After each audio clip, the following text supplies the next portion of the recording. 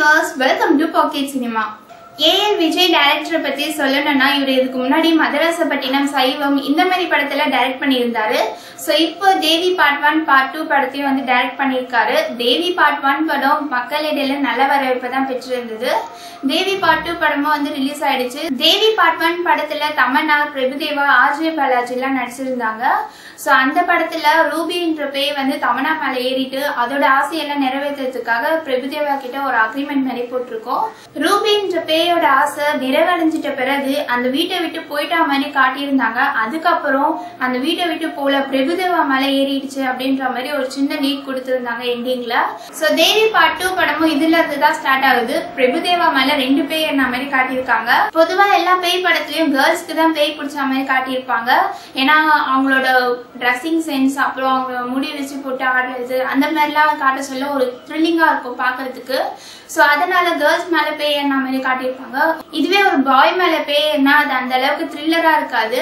But ஏன் விஜய் வந்து இதை அப்படியே கொஞ்சம் உல்டாவா ஒரு டிஃப்ரெண்ட்டாக எடுத்திருக்காரு? ஸ்டார்டிங்ல பிரபுதேவா நஞ்சிதா கூட டான்ஸ் பண்ற மாதிரி ரொமான்ஸ் பண்ற மாதிரி சீக்வன்ஸ்லாம் காட்டியிருப்பாங்க.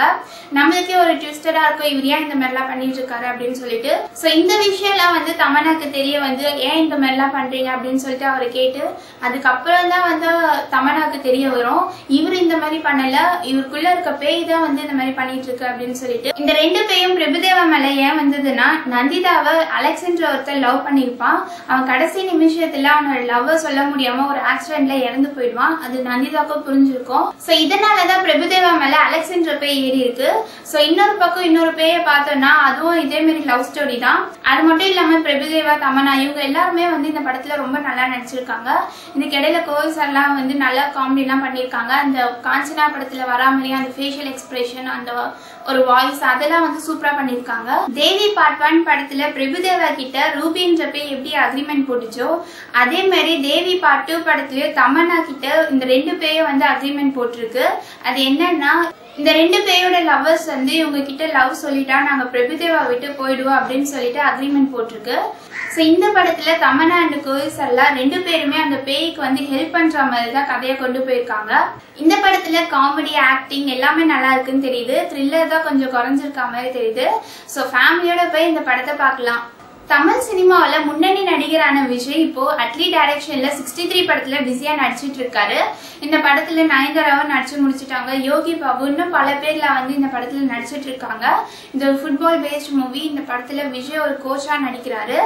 ஏஜிஎஸ் நிறுவனம் இந்த படத்துக்கு ப்ரொடியூஸ் பண்ணிட்டு இருக்காங்க அதுக்கப்புறம் இந்த படத்துக்கு அப்புறமா விஜய் சிக்ஸ்டி ஃபோர் படத்துல நடிக்க போறதா சொல்லிட்டு இருக்காங்க சிக்ஸ்டி ஃபோர் படத்துல தளபதிக்கு ஜோடியா ரஷ்மிகாவை நடிக்க வைக்கலாம் அப்படின்னா சொல்லிட்டு இருந்தாங்க அதுக்கப்புறம் ரஷ்மிகா இல்ல வேற ஹீரோயின்ஸ் வச்சு நடிக்க வைக்கலாம் அப்படின்னு சொல்லிட்டு இருந்தாங்க இந்த மாதிரி நியூஸ்லாம் கொஞ்சம் ஸ்ப்ரெட் ஆயிட்டு இருந்துச்சு.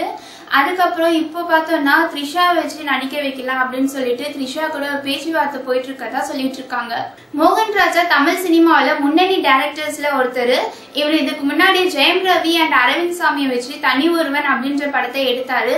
அந்த படமும் வந்து மக்கள் இடையில நல்ல வரவேற்பு பெற்றிருந்தது. இப்போ தனி ஒருவன் பார்ட் டூ படத்தை எடுக்க போறதா சொல்லிட்டு இருக்காங்க.